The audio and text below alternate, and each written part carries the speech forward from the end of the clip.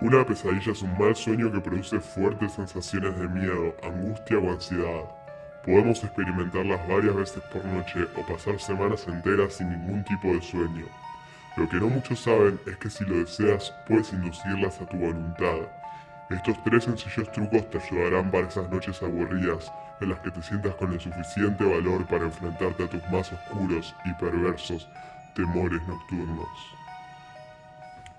1 Comer en exceso antes de acostarte.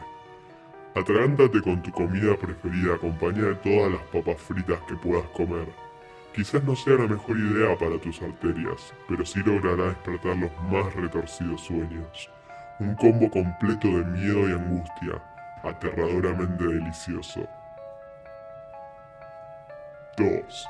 Dormir una gran cantidad de horas. El sueño largo y profundo puede sonar reparador, pero también es el preferido de nuestros delirios nocturnos. Descansa bien y pasarás más tiempo en la etapa REM, en la que se tienen los sueños más largos e intensos, tiempo suficiente para convertir ese bonito sueño en una horrenda pesadilla. 3. Beber alcohol antes de dormir. Para esas clásicas pesadillas de fin de semana, no dudes en tomar una buena cantidad de tu licor o vino preferido, el mareo y la deshidratación serán tu pasaje directo a las tierras de Freddy Krueger. Sin embargo, si es día de semana y no quieres sufrir la verdadera pesadilla de trabajar con resaca, mejor prueba con una gran taza de café. Obtendrás un resultado similar y tu cabeza te lo agradecerá. Todo puede pasar durante una pesadilla. El límite está en tu mente.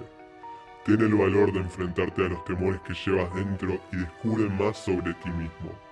Recuerda que nada puede dañarte. Después de todo, es solo un mal sueño.